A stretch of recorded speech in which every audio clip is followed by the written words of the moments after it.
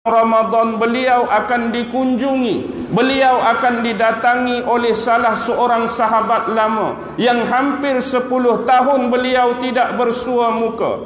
Dan kedatangan ini menunjukkan bahawa beliau begitu beria-ria untuk menyambut kedatangan sahabat lama yang tidak berjumpa.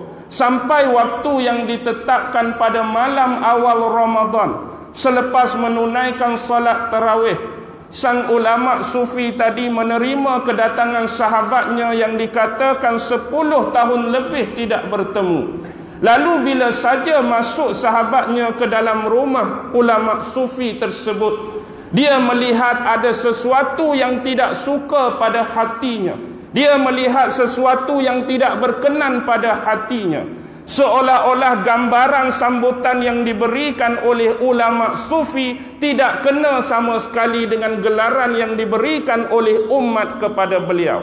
Apa yang dilakukan untuk menyambut tetamu tersebut seolah-olah dia menghidupkan seratus batang lilin untuk menerangi ruang tamu rumahnya semata-mata nak menyambut kedatangan sahabat lama tersebut pada anggapan sahabat lama beliau apa yang dilakukan ini seolah-olah melebih-lebih? Apa yang dilakukan ini seolah-olah mengada-ngada? Cukuplah menghidupkan satu dua atau cuma tiga batang lilin semata-mata untuk menerangi dan mencahayakan kita berdua. Tapi ini dah dianggap berlebih-lebihan sampai engkau hidupkan seratus batang lilin di ruang tamu rumah ini Inilah sebenarnya penghormatan dan rasa takzim kamu eh, tak, rasa takzim aku kepada kamu wahai sahabatku. Sesungguhnya seratus batang lilin ini telah aku hidupkan ikhlas semata-mata kerana Allah subhanahu wa ta'ala demi sebuah persahabatan kita. Kalau kamu rasa aku mengada-ngada, kalau kamu rasa aku berlebih-lebih, cuba kamu padamkan salah satu daripada lilin tersebut dengan kudrat kamu sendiri.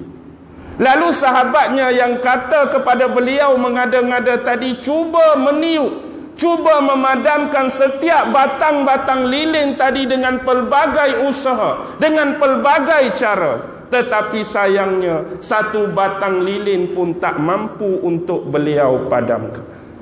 Ini menunjukkan bahawa cahaya tersebut dihidupkan demi kerana Allah semata-mata memuliakan seorang tetamu tetapi sahabat tadi memberi saranan dan nasihat seolah-olah dia lebih alim daripada ulama tersebut. Dia lebih baik daripada ulama tersebut. Dia lebih zuhud daripada ulama tersebut. Tetapi rasa-rasa dia alim, rasa-rasa dia lebih, rasa-rasa dia zuhud itu pun tak mampu untuk mematikan walau sebatang lilin.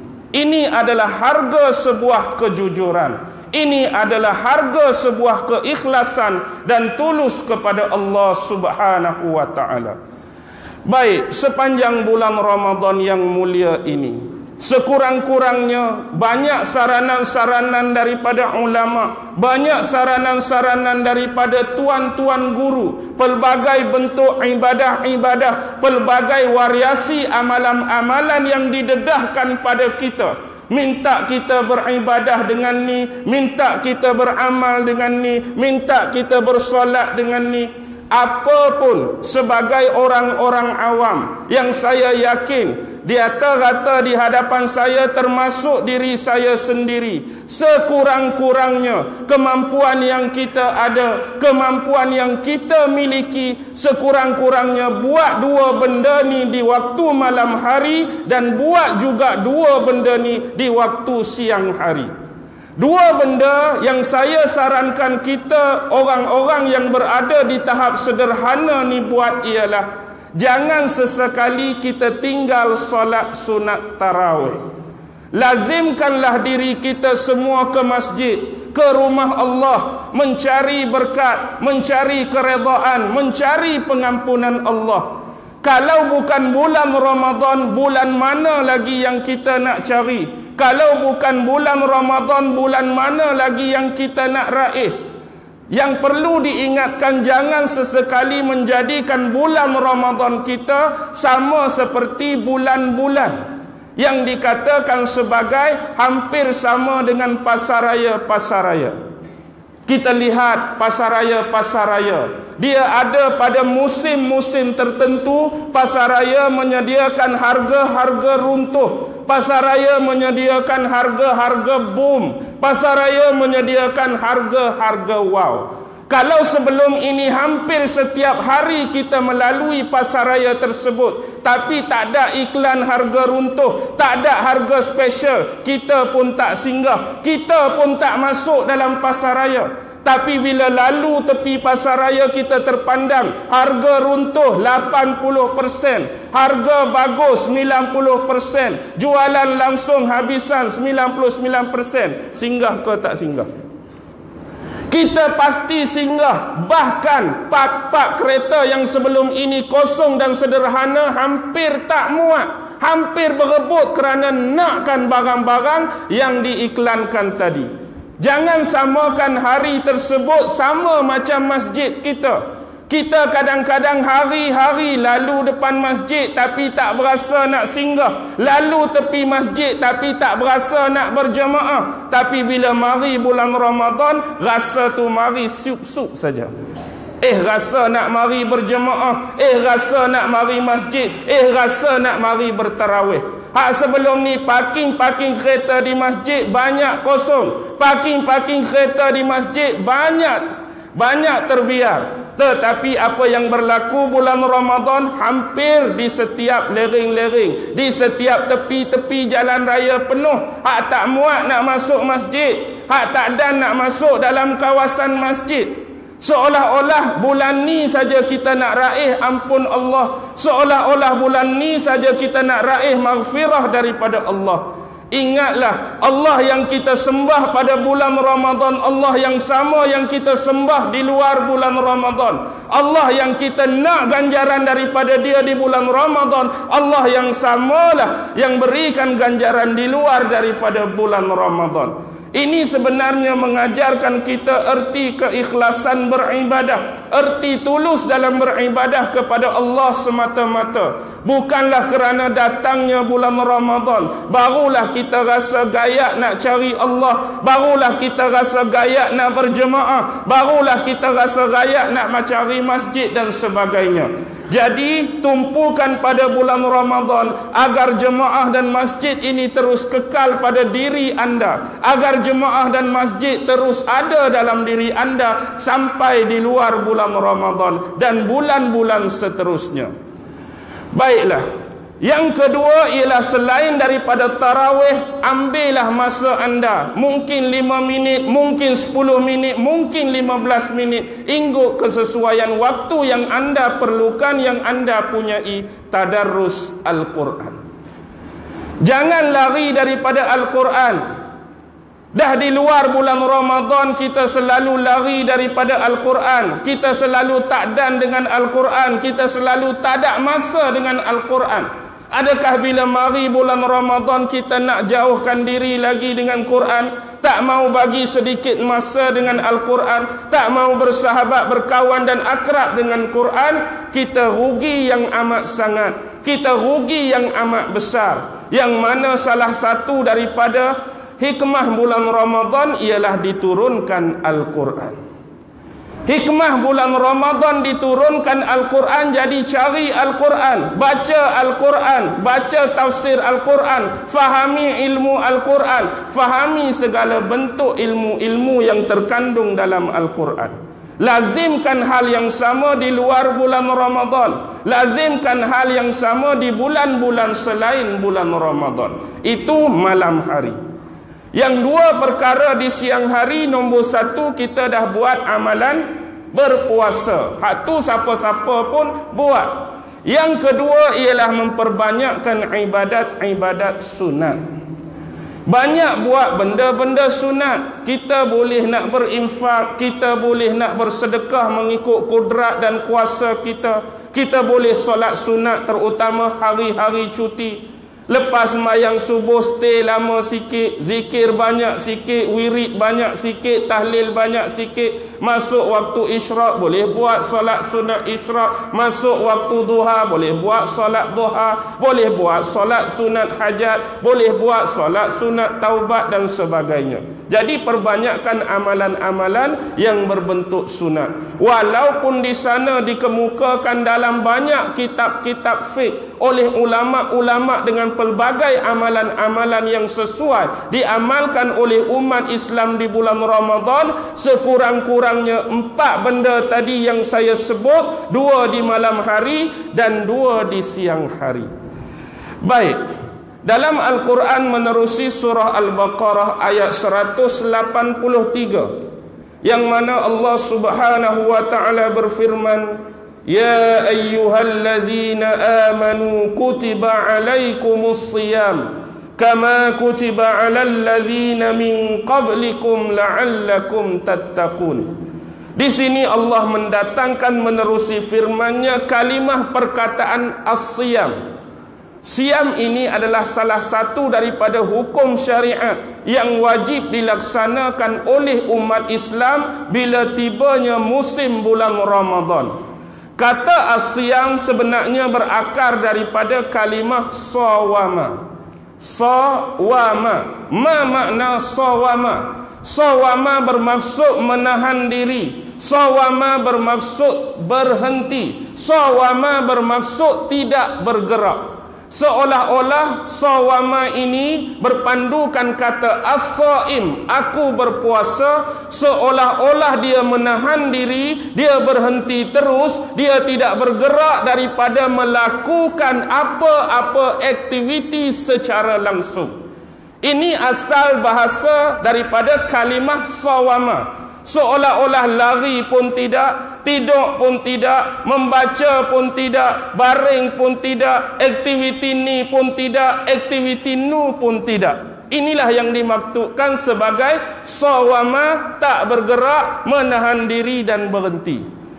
Tetapi menurut kebahasaan inilah agama kita datang memperkecilkan agama kita datang mempersempitkan agama kita datang memperkhususkan kalimah as-siyam hanyalah menahan diri daripada makan dan minum. Menahan diri daripada melakukan hubungan dengan pasangan masing-masing. Kalau suami dengan isteri kalau isteri dengan suami menahan diri daripada melakukan perkara-perkara yang boleh membatalkan puasa sejak terbit fajar sampai terbenamnya matahari. Tetapi ingat Al-Quran dan hadis yang beri informasi Al-Quran dan hadis yang beri maklumat kepada kita tentang amalan-amalan berpuasa Al-Quran dan hadis jugalah yang memberikan informasi dan maklumat kepada kita.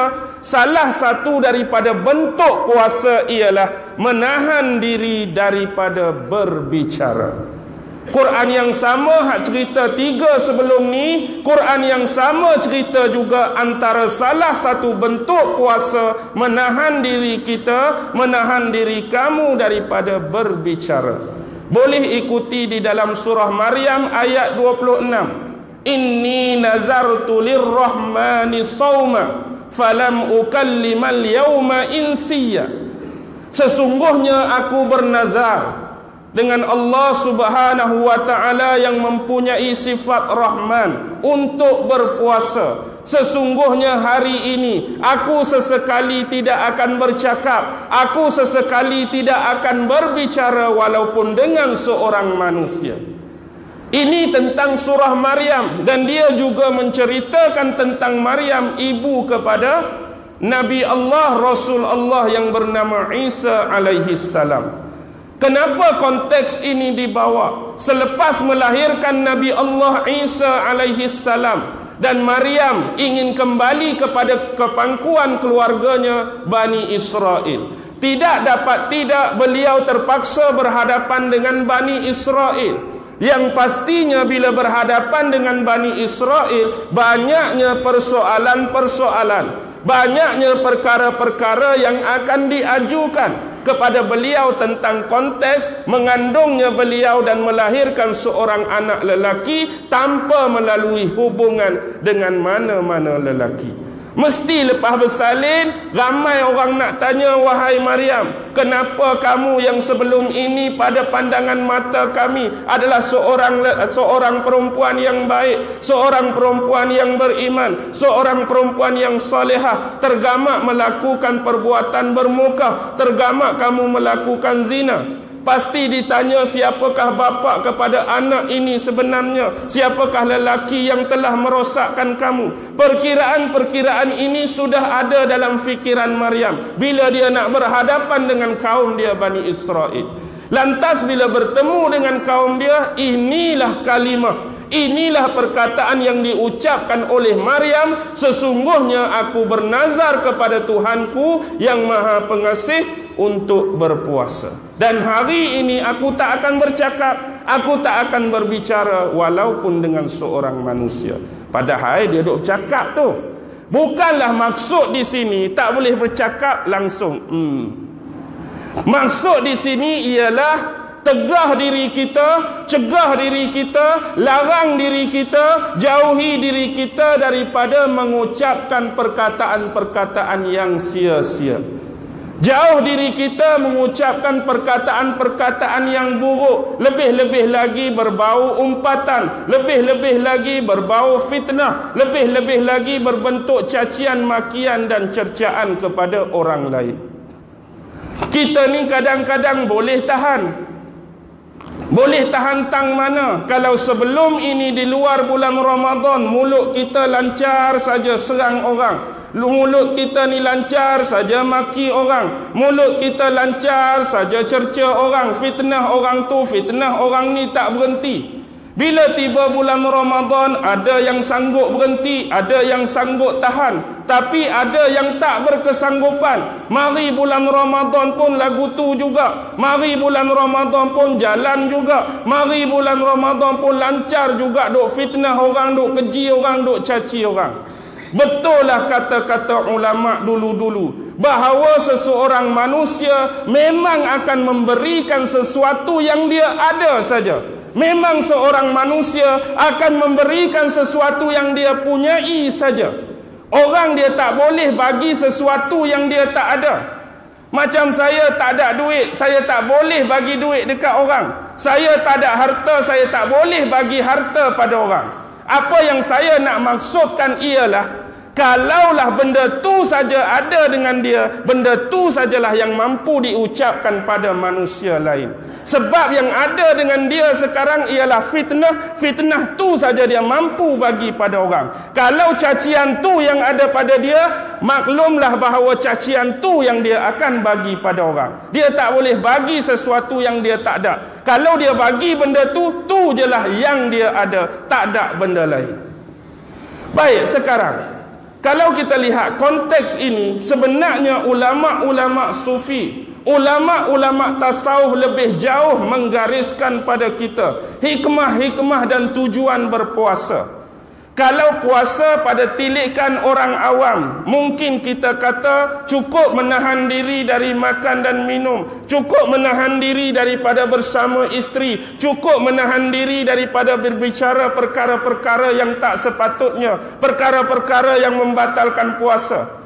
Tetapi ulama-ulama tasawuf lebih jauh cuba mengawal anggota-anggota kita yang tujuh daripada melakukan perkara-perkara yang berbaur kemaksiatan dan keburukan kepada Allah lebih-lebih lagi kepada manusia yang lain. Jaga hati-hati kita daripada berlaku curang kepada Allah dan berlaku curang kepada manusia. Jaga akal-akal kita daripada terseleweng kepada jalan Allah dan jaga akal-akal kita. Jangan fikir sesuatu untuk membuat kejahatan keburukan dan maksiat kepada makhluk-makhluk Allah yang yang lain. Mereka lebih jauh. Sebab itulah dalam konteks kita berwuduk sebagai contoh benar.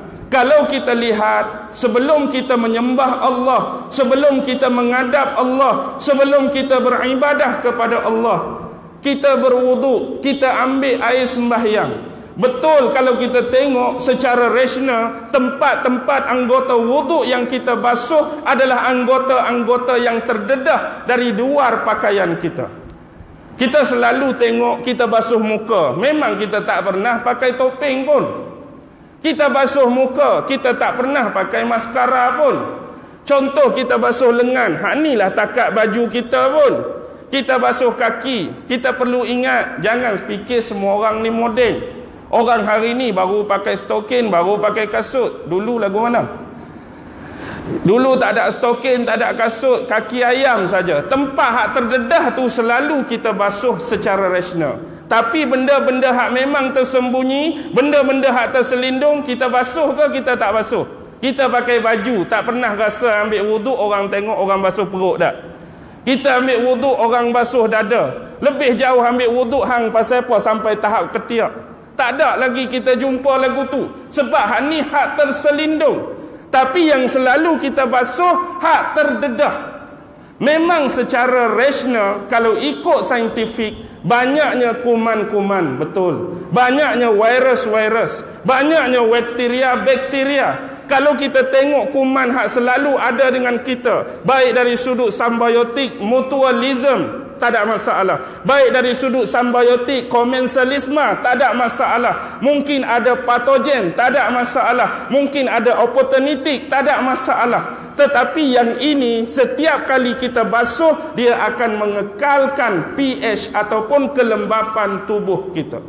Hak ni yang selalu terdedah akan mengalami lingkungan cuaca. Kalau nak kena panas pun hak ni, nak kena sejuk yang melampau pun hak ni, nak kena kering pun hak ni, kita kena ingat kulit kita ada setiap lapisan epidermis. Dan hak paling atas tu dipanggil lapisan sel tanduk tu. Satrium corneum tu yang paling penting untuk kita jaga. Tapi dari sudut kerohanian, inilah yang kita nak bawa sepanjang kita berwuduk supaya kita faham bahawa sebenarnya selepas kita berwudu kita sembahyang subuh sebagai contoh. Daripada subuh untuk bertemu dengan zuhur berapa jam kita ada masa terluang? Lepas sembahyang subuh nak ambil wudu nanti zuhur berapa jam ada masa selang? Sekurang-kurang. 6 ke 7 jam Tadi baru ambil wuduk subuh. Tadi baru solat berjemaah subuh. Tetapi kita perlu ingat sebagai manusia yang penuh kekurangan dan kelemahan, anggota-anggota yang terdedah yang selalu dibasuh dengan air-air wuduk inilah yang selalu banyak melakukan dosa dan maksiat. Mungkin kita singgah kedai kopi bersembang sampai waktu zuhur. Guna dua mata ni benda haram apa kita tak tengok sepanjang berada di luar bulan, uh, di luar uh, waktu zuhur tadi. Kan tengok orang tu seksi, kan tengok orang ni terbelah, kan tengok aurat orang ni, kan tengok orang tu. Nak sampai zuhur. Hak telinga pula dengar macam-macam duk kedai kopi, orang ni mengumpat, orang ni kata kat orang tu, orang ni tu, orang ni. Hak ni pula buat dosa. Hak bahagian mulut dah lepas orang kita pula. Ah tu cerita hang ni cerita aku. Hang tahu tak kisah Mak Bedah semalam? Oh habis Mak Bedah. Hak kemarin dulu kisah Mak apa? Hantu apa pek apa tu? Ha. ha ikutlah cerita apa pun. Maksudnya mulut pula buat dosa. Lepas tu mari kesya lambat tampak meja tepuk meja tendang kucing tendang anjing. Maksudnya hanya 6 ke 7 jam nak sampai zuhur Hanilah yang selalu buat dosa. Jadi basuh sekali lagi Dari sudut kerohanian. Basuh sekali lagi dari sudut ruhi itu Atas dosa-dosa yang kita buat. Pasal apa kena basuh lagi sampai masuk waktu asap Rasa tak buat dosa dah kalau lepas mayang zuhur. Lepas mayang zuhur buat dosa lain pula Anggota yang sama jadi kita kena faham hikmah dan tujuan daripada kita berwuduk dan kita solat setiap hari tambah masuk bulan Ramadan jaga ketujuh-tujuh anggota tersebut selain tahan lapar, tahan dahaga. Hati kita jaga, jangan terseleweng, jangan terpeleok, akal kita pun sama. Jangan duk fikir benda bukan-bukan, jangan fikir nak buat jahat kat orang, jangan fikir nak buat benda yang tak elok, benda yang tak patut. Baik kembali. Dalam satu hadis kudusi riwayat Imam Bukhari disebutkan as-saumuli wa ana ajzi. As-saumuli wa ana ajzi. Puasa itu khusus untuk aku dan aku sendiri yang akan memberikan pahala dan ganjarannya. Puasa ini khusus untuk Allah. Why sebab sebelum ini selain daripada ibadah puasa setiap ganjaran-ganjaran setiap pahala-pahala setiap kelebihan-kelebihan yang Allah berikan bukan untuk Allah tapi untuk untuk siapa? Kita semayang. Nanti Allah bagi pahala semayang untuk Allah ke untuk kita untuk kita kita berzakat nanti Allah bagi pahala atas zakat bukan untuk Allah untuk kita besok. Semua ibadat lain kembali pada kita. Tetapi satu-satunya khusus untuk Allah dan Allah sendiri akan bagi ganjaran dan pahala dia ialah puasa. Sebab tu bila orang tanya ustaz boleh puasa tak? Kalau saya tak solat lima waktu puasa pilah saya tak semayang lima waktu tapi mari bulan Ramadan saya perlu tinggal ke? Sebab tak semayang ke saya kena puasa? Puasa. Ke kena tinggal? Jadi termaktub di dalam kitab fik sekian-sekian jilid sekian-sekian barang siapa yang tidak pernah bersolat lima waktu jadi tak payahlah bagi dirinya untuk berpuasa 30 hari. Tak muktamad. Seronoklah dia Dah hak ni pun tinggal, hak ni pun kena tinggal juga.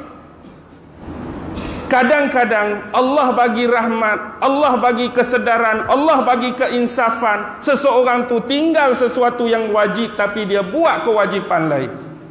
Kadang-kadang contoh dia puasa bulan Ramadan. Allah gerak hati dia nak main masjid. Allah gerak hati dia nak berterawih. Allah gerak hati dia nak nak berjemaah. Waktu itulah kadang-kadang datangnya keinsafan datangnya kesedaran hati dia. Bahawa selama ni dia banyak buat dosa pada Allah. Dia banyak menderhakai Allah. Dia banyak melawan hukum-hukum ketetapan dan perundangan daripada Allah. Kadang-kadang seorang manusia Allah sedarkan melalui jalan tersebut. Jadi jangan cuba kita memandai-mandai tentang urusan pahala tentang urusan ganjaran tentang urusan hidayah Kerja kita ialah menunjuk jalan kebaikan. Kerja kita ialah untuk merapat dan mendekatkan orang kepada jalan Allah. Bak taufik, bak hidayah, bak nak menerima keinsafan, nak menerima penyesalan semata-mata adalah hak mutlak Allah Subhanahu wa taala.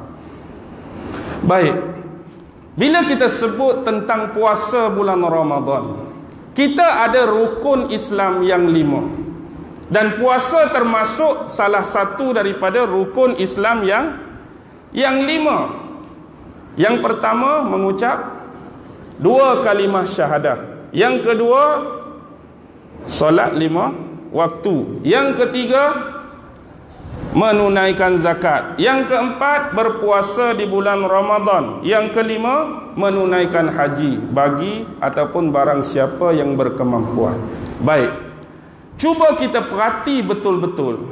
Setiap komponen-komponen dalam rukun Islam yang lima masih lagi mengekalkan bahasa dan kalimah yang sama.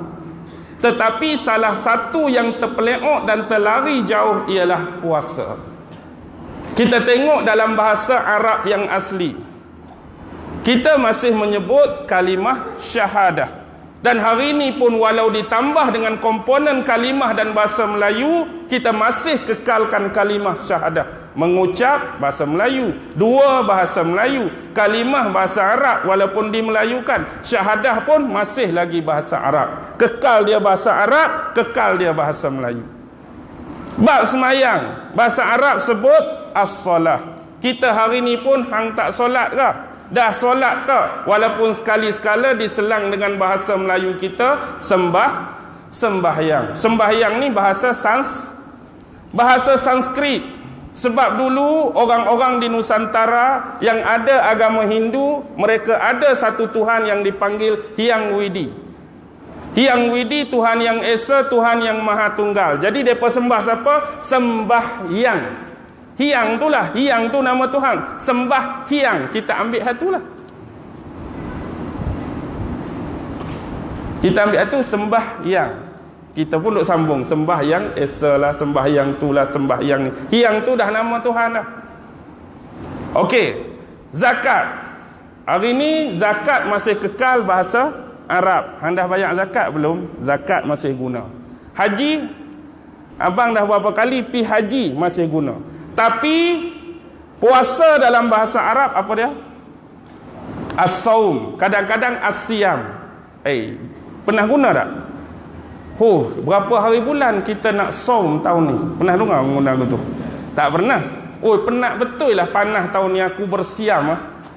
Tak pernah guna. Hak kita guna puasa, puasa, puasa. Why? Hak ni satu-satunya terpeleok dan lari jauh asyam puasa, asaum puasa.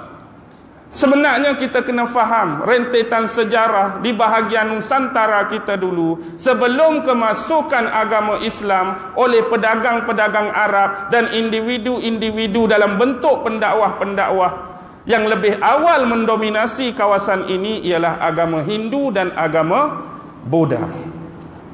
Jadi semasa Orang-orang tua kita dulu, nenek-nenek moyang kita dulu, mungkin ada yang terjebak dengan Hindu ataupun Buddha, mereka juga ada satu ritual mereka juga ada satu ibadah yang berbentuk menahan diri dari makan dan minum, menahan diri daripada melakukan hubungan dengan pasangan, menahan diri daripada melakukan perkara-perkara yang membatalkan puasa. Yang beza mungkin cuma konteks masa, konteks waktu, berapa lama jam, tujuan apa diibadahkan, tujuan apa ritual ini dibuat. Tetapi bab menahan diri dari makan dan minum sudah sedia ada di dalam amalan dan ritual datuk nenek moyang dahulu. Bila mari Islam dengan satu amalan, dengan satu ibadah yang wajib dinamakan puasa. Dinamakan asyam, dinamakan as-saum. Pada zaman era Hindu dan Buddha dulu, ibadah macam ni, hak tahan diri macam ni dinamakan upawasa, bahasa Sanskrit upawasa upawasa upawasa upawasa. Last sekali yang tinggal cuma yang tinggal cuma puasa saja. Jadi bila sebut puasa semua orang tahu menahan diri dari makan dan minum. Sebab tu dia satu-satunya tak lekat kepada kalimah asal iaitu as-saum dan as-siyam. Baik. Ustaz bila nak mari cerita yang menakjubkan ni? Tak ada cerita menakjubkan lagi Baiklah, pukul berapa sekarang ni? Tengok jam Ustaz. Nak pukul sebelah dah. Okey eh? Okey. Baik. Malam ni kita nak bawa satu analogi. Dan saya ingat mungkin ada di antara penggemar-penggemar YouTube dan sebagainya sudah mendengar tentang kisah ini. Apapun kita ambil perkiraan yang umum saya mau bawa bulan Ramadan ini dengan salah satu analogi tentang makhluk Allah. Makhluk Allah ni bukan malaikat. Makhluk Allah ni bukan manusia. Makhluk Allah ni bukan pokok-pokok dan tumbuhan. Tapi makhluk Allah ni nama dia haiwan. Makhluk Allah ni nama dia binatang. Dalam Al-Quran ada beberapa nama haiwan dan nama binatang yang Allah garap dalam Al-Quran firman Allah sendiri. Adanya semut adanya lebah adanya labah-labah adanya nyamuk adanya babi adanya kaldai adanya anjing. Ini adalah nama-nama binatang yang diperbisalkan dan dicontohkan oleh Allah sendiri dalam Al-Quran. Tetapi yang saya nak bawa pada malam ini sebagai analogi dengan bulan Ramadan ialah ulat yang kita panggil sebagai ulat bulu mungkin ada yang panggil ulat beluncah mungkin ada yang panggil ulat gatai mungkin. Tapi kat Selangor ni ulat tu dia panggil ulat apa? Ulat beluncah ke ulat gatai ke ulat bulu? Ulat bulu. Baik. Sebab dia ada dia ada bulu. Lepas tu dia jenis gatai tak? Baik. Pertama kali persepsi bila kita lihat ulat bulu, apa pandangan daripada anda semua bila berhadapan dengan binatang yang nama ulat bulu? Ada sesetengah manusia dan sesetengah orang bila berhadapan dengan ulat bulu, mereka ada perasaan menjengkelkan. ada perasaan menjijikkan, ada perasaan mengerikan, ada perasaan menakutkan. Sebab rupa dia pun dah tak handsome. Rupa dia buruk, rupa dia menjijikkan, rupa dia menakutkan. Tetapi setelah binatang ini melakukan satu proses dalam saintifik dia disebut sebagai metamorfosis. Metamorfosis ialah dalam bentuk ulat beluncas menukar dirinya berada dalam satu benda yang dipanggil kepompong. Jadi dalam waktu metamorfosis dia duduk untuk satu-satu tempoh, satu-satu waktu, satu-satu masa. Sampai akhirnya selepas berakhir metamorfosis dia keluar dalam bentuk yang tidak disangka-sangka. Yang sebelum ini dia menakutkan, mengerikan dan menjengkelkan Bila habis metamorfosis Keluar dari kepompong Dia jadi apa? Dia jadi seekor rama-rama Dia jadi seekor kupu-kupu yang begitu indah Begitu cantik Begitu menyenangkan mata memandang Seolah-olah benda yang kita jengkel dah tak ada. Benda yang kita jijik dah tak ada. Benda yang kita kata merapu dah tak ada. Benda yang bagi kita gatai dah tak ada. Hanilah yang patut kita buat sama-sama melakukan proses penukaran diri. Proses metamorfosis sama seperti ulat beluncas dan keluar daripada bulan Ramadan dengan menukar wajah-wajah anda sebagai kupu-kupu yang baru. Sebagai rama-rama yang indah. Baik.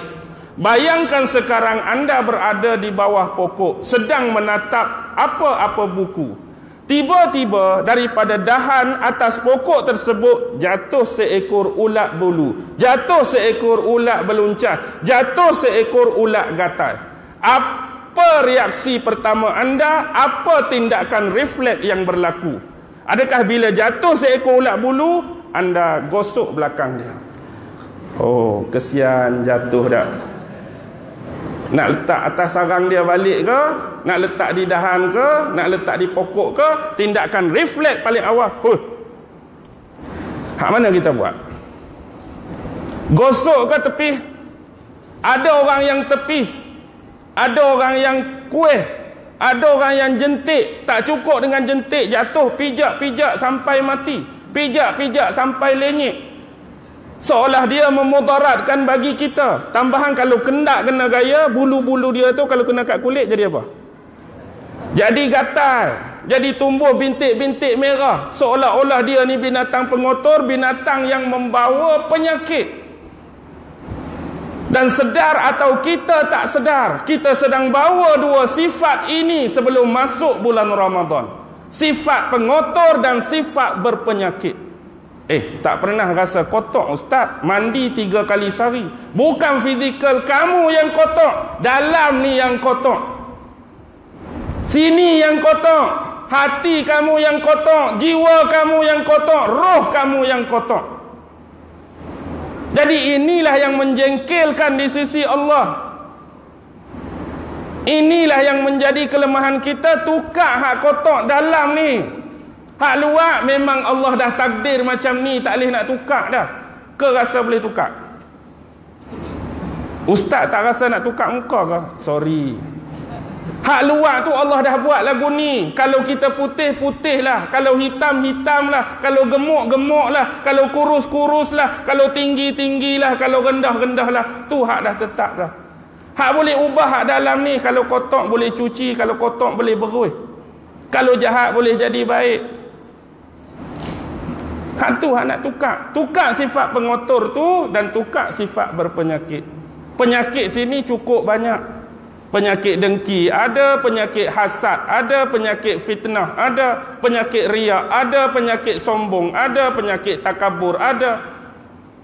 Hak tu yang kita nak buang. Tapi bila dah dia bertukar rupa di hari yang lain, hak kita jentik dulu tulah, hak kita kuih dulu tulah, hak kita heh dulu itulah hari ni dia mari jatuh rama-rama yang cantik. Kita buat benda yang sama ke lagu lain dah persepsi kita. Dulu kita jentik kita kuih hani oh.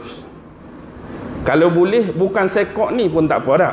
Marilah banyak pun sini ke sini ke sini ke kita tak rasa rimah.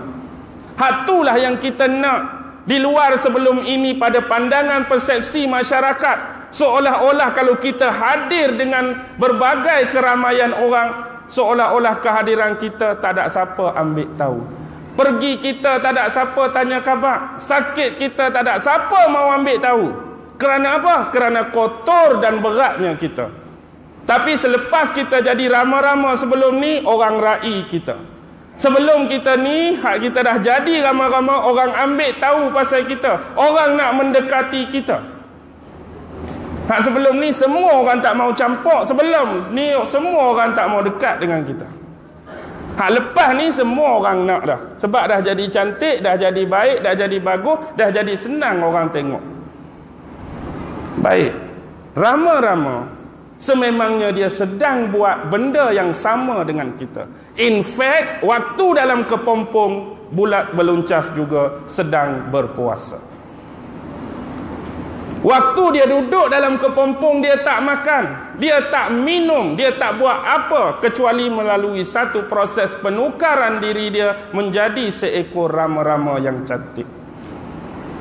Baik, ulama-ulama telah menggariskan bahawa antara salah satu hikmah rama-rama ialah bila dia dah jadi rama-rama, satu benda yang paling menarik ialah simetri pada sayap dan simetri pada warna dia.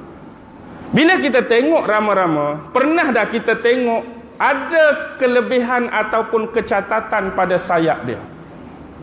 Contoh, bila kita pegang sayap rama-rama, eh pasal apa sayap belah ni ukuran macam ni, sayap belah kiri ukuran macam ni. Pernah jumpa atau tidak?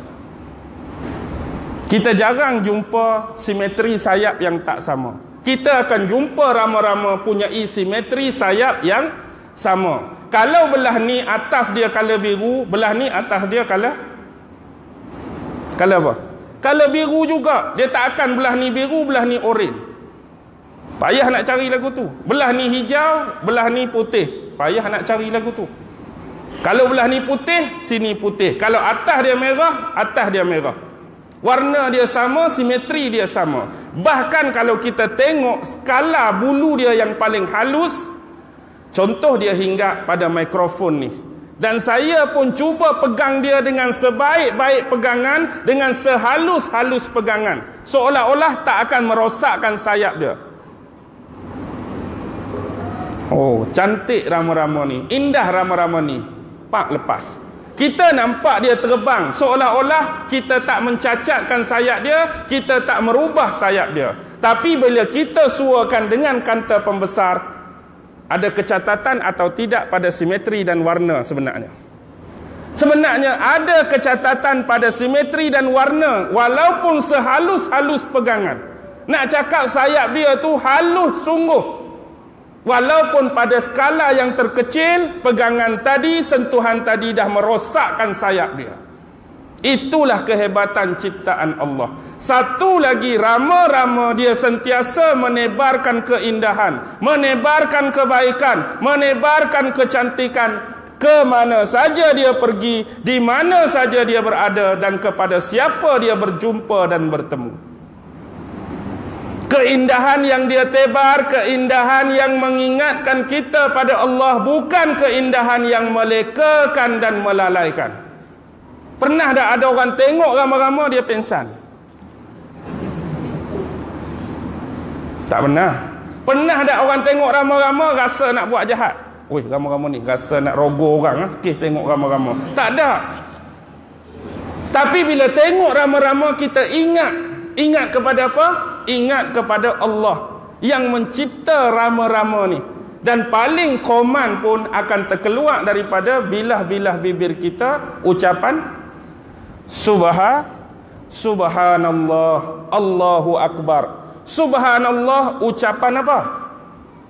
Ucapan pujian. Allahu Akbar ucapan kekaguman. Seseorang akan meluarkan pujian Akan mengeluarkan kekaguman. Bila dia berasa level diri dia Tak capai pada tahap tu Baru dia boleh ucap sebab kita rasa level kita rendah daripada rama-rama, kita terucap subhanallah Allahu akbar. Kalau kita rasa level kita sama macam rama-rama, kita tak ucap. Hmm. Setiap biasa lah ramai-ramai lagu tu. Bukan ada apa pun. Kalau kita rasa dia remeh, kita rasa dia biasa, kita tak akan ucap kalimah tu. Contoh, duduk kedai kopi. Saya ni handsome, contoh. Bukan sebaliknya sebenarnya kan. Mari seorang lagi tak berapa handsome kawan ni. Saya handsome, kawan tak berapa handsome. Tiba-tiba di meja tu, mari seorang mak motor, buka saja topi, oh, macam iklan dah.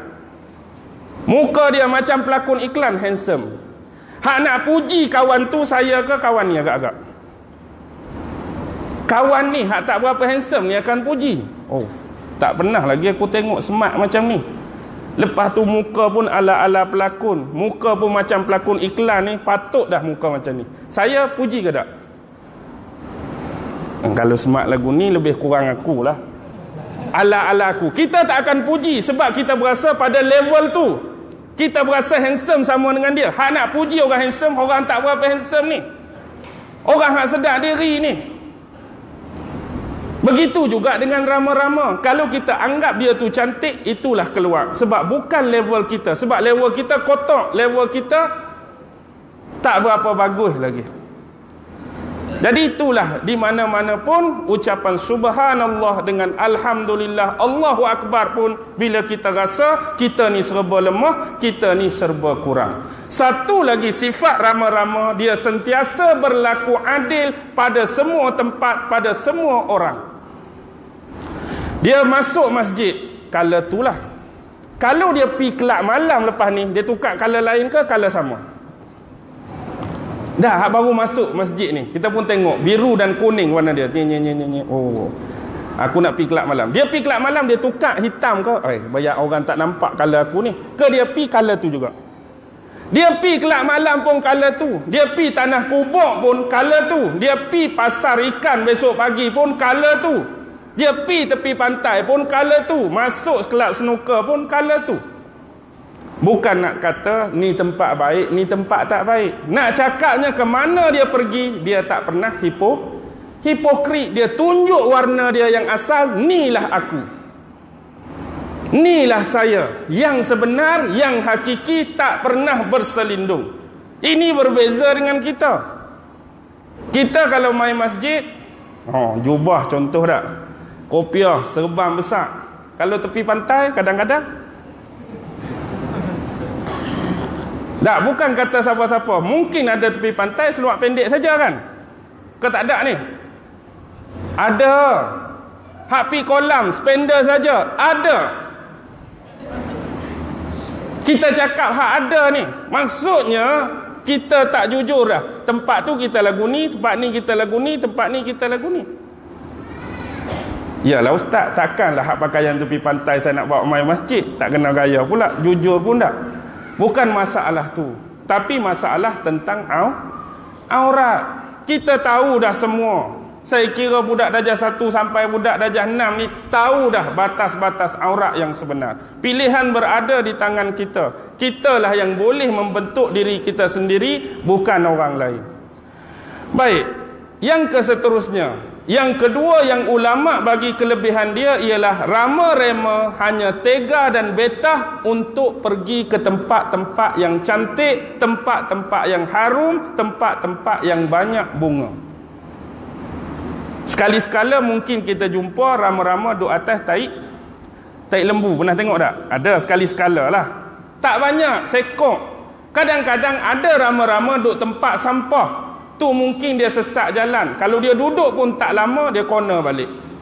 Carilah kebanyakan rama-rama. Kalau kita nak tangkap dia ada di kawasan semua kawasan belukar yang dihias dengan latar belakang dan frame bunga-bunga yang cantik. Sebab rama-rama dia ni suka hisap apa? Rama-rama suka hisap apa? Suka hisap madu dan nektar-nektar bunga Lepas habis hak ni dia pi bunga ni dia hisap sungguh-sungguh. Lepas habis hak ni dia hisap hak ni, dia hisap hak ni. Tak puas taman ni dia pi taman lain. Lepas tu dia buat apa? Dia melakukan proses pendebungaan ataupun kita sebut diaspora. Jadi debunga-debunga ni dihantar oleh dia menyebabkan tumbuhnya pokok-pokok bunga lain di kawasan di kawasan lain. Faham tak maksud dia? Ni proses alami rama-rama. Tempat yang baik, sedut bunga, kemudian buat diaspora dan pendebungaan. Macam kita manusia, rebutlah taman-taman bunga ini yang banyak di hadapan kita. Masjid Ulu Kelang ada, masjid tu ada, masjid ni ada, masjid mana-mana pun ada. Di sana ada tuan guru, di sana ada ulama, di sana ada ustaz, di sana ada orang alim. Masuk saja teman-teman tadi, masuk saja jumpa ulama-ulama tadi, sedut. Jumpa ustaz ni sedut. Jumpa ulama ni sedut. Faham tak? Sedut apa? Sedut nektar ilmu dia. Sebut saripati-saripati ilmu daripada ulama tu. Jangan pilih bunga. Rasa ilmu ni bermanfaat, berguna untuk kita, boleh tunjuk jalan hidayah, jalan kebaikan, sedutlah. Kita buat hari ni pun sedut juga. Han download dah tak lagi? Han download. Mereka aku sedut hak hang, malah nak download. Sedut juga. Tak ada masalah pun hak tu. Sedutlah.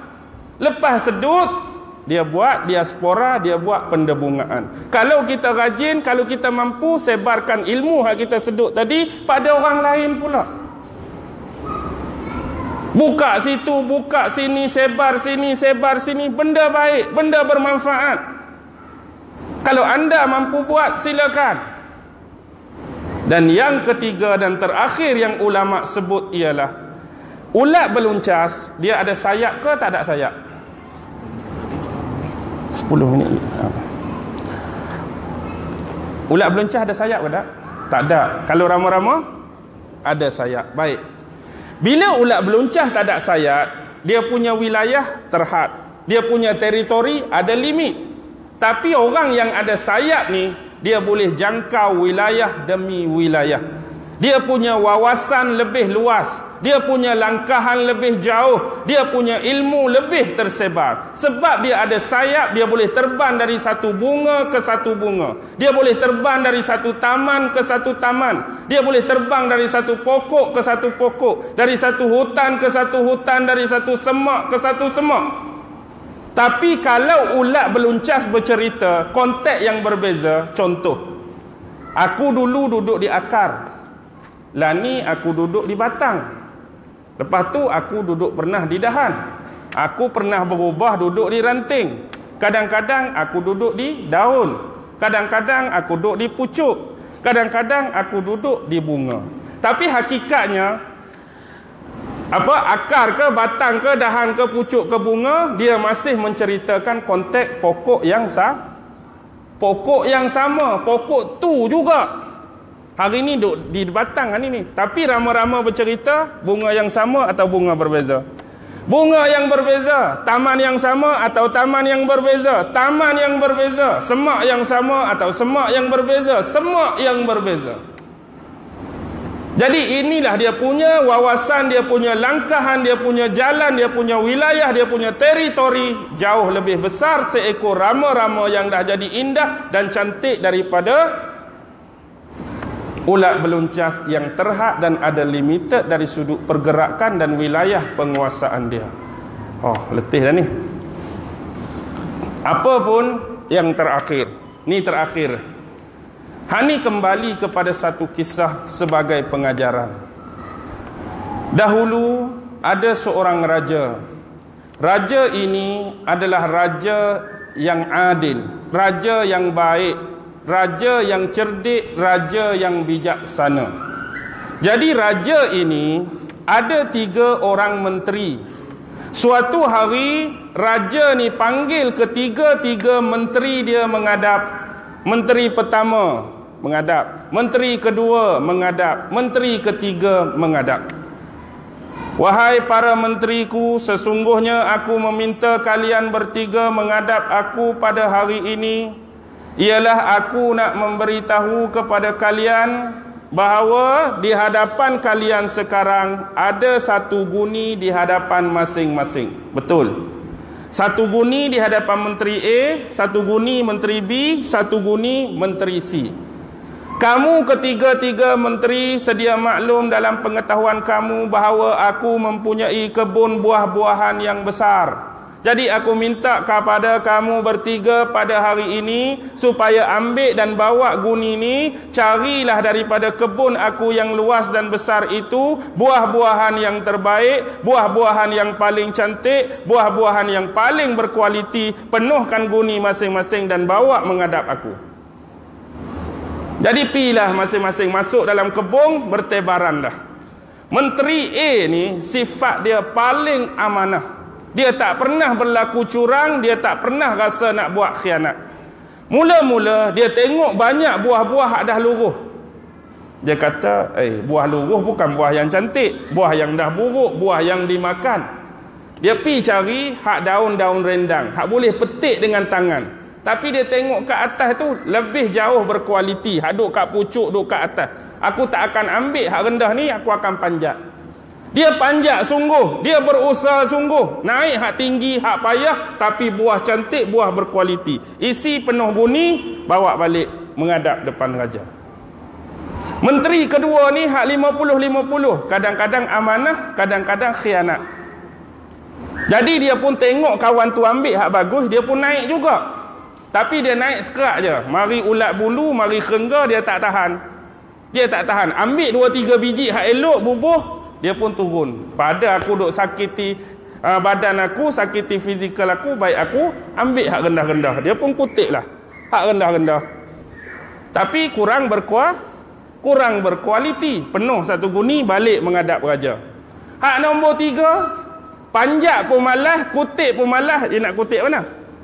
Dia nak kutip hak luruh tu lah. Senang sekali. Dia pun kutip hak luruh dua tiga biji dia malas dia tengok di tepi pokok tu ada satu longgokan batu.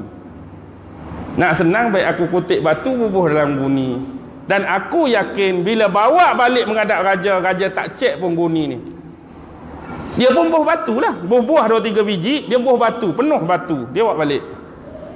Betul tekaan menteri C, menteri ketiga, raja tak cek pun apa ada dalam guni.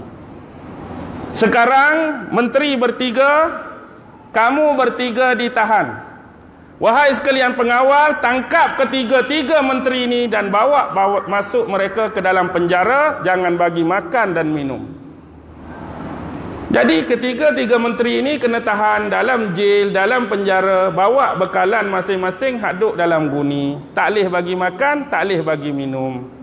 Alhamdulillah lah bagi menteri A kerana dalam guni dia ada buah. Buah hak bagus-bagus buah hak berkualiti, buah hak baik, buah hak manis, buah hak sedap. Okeylah dia. Menteri B hari pertama tu makanlah buah hak sedap. Hari seterusnya, ai terpaksalah makan hak mentah, terpaksalah makan hak putih, terpaksa makan hak kurang masak, terpaksa makan hak berulat, terpaksa. Menteri C tiga biji ya buah hak lain batu. Cari penyakit.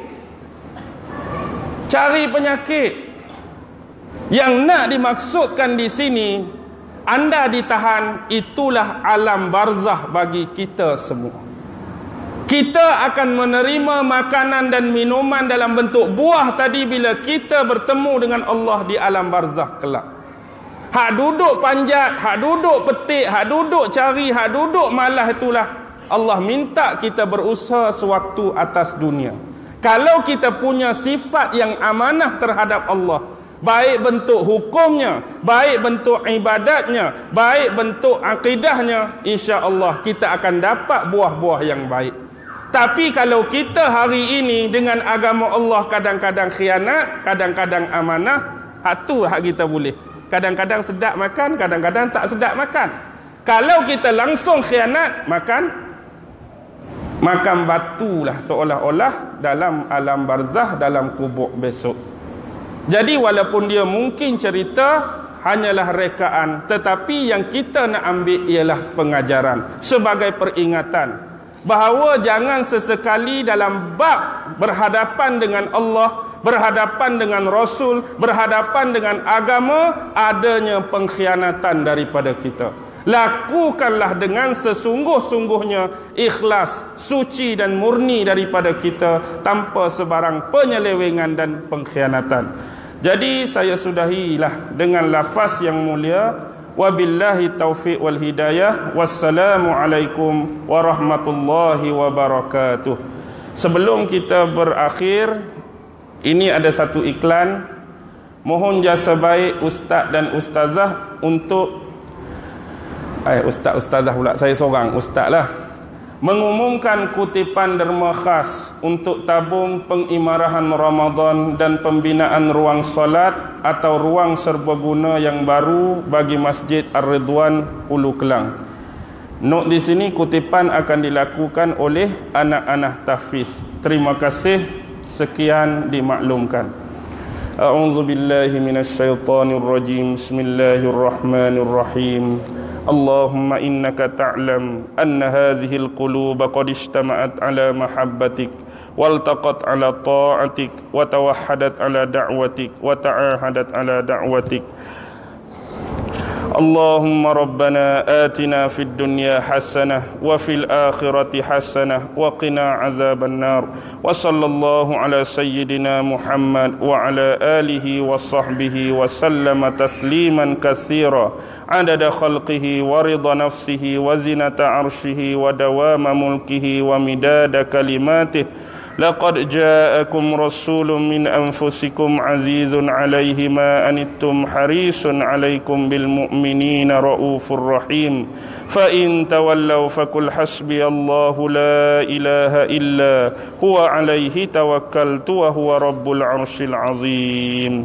سبحان الله والحمد لله ولا إله إلا الله والله أكبر. والحمد لله رب العالمين. الله